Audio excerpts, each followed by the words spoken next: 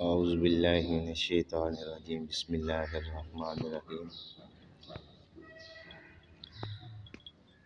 تمام یوٹیوب، میرے چینل کو دیکھنے والوں کو میری طرف سے السلام علیکم۔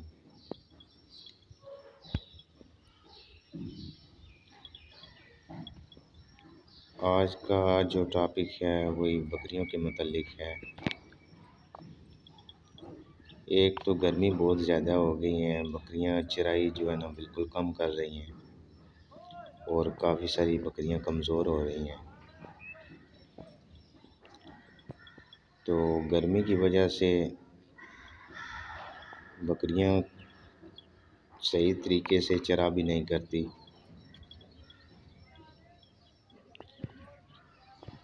تو بہت زیادہ گرمی ہونے کی وجہ سے کافی ساری بکریاں جو ہے نا کمزور ہیں۔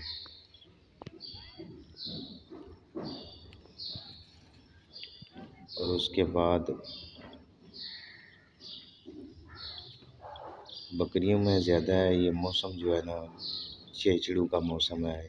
اس موسم میں چچڑ وغیرہ بھی پڑ جاتے ہیں بکریوں کو۔ تو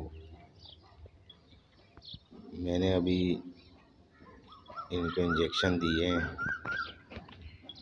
تو ماشاء اللہ ابھی ٹھیک ہیں اور ٹھیک چل بھی رہی ہیں۔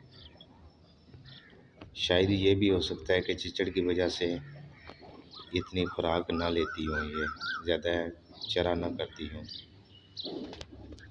تو میں نے ان کو انجیکشن لگائے ہیں۔ تو ابھی ماشاء اللہ یہ کافی بہتر ہے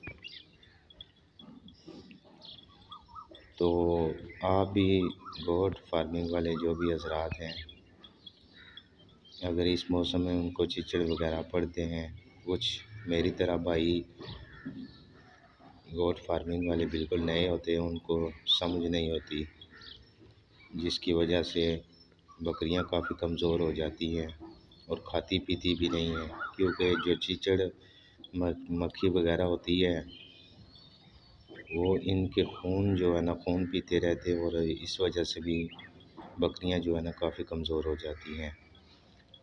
تو میرے ساتھ بھی ایسا ہی ہوا۔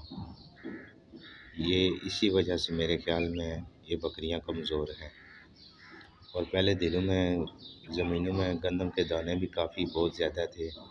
اس کی وجہ سے بھی، کیونکہ مٹی کے اندر دانے ہوتے ہیں۔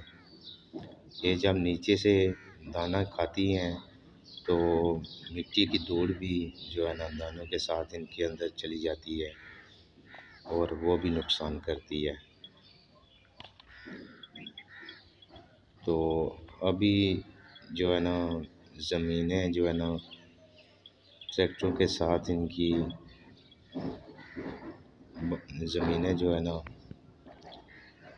خالی انہوں نے زمینوں میں چلا دی ہے۔ ابھی جو اگر دانے تھے وہ ابھی مٹی کے نیچے ہو گئے تو اس کی وجہ سے یہ بکریاں بھی کمزور تھی اور دوسرا جو آپ کو میں نے بتایا کہ چچڑ وغیرہ بھی بہت زیادہ بکریوں میں ہو جاتے ہیں، اس کی وجہ سے بھی یہ مسئلہ بن جاتا ہے۔ تو آپ کو میری ویڈیو اگر اچھی لگی تو لائک کر دیجیے گا۔ اگر چینل پر نئے ہیں تو چینل کو سبسکرائب کر دیجیے گا۔ اوکے، اللہ حافظ۔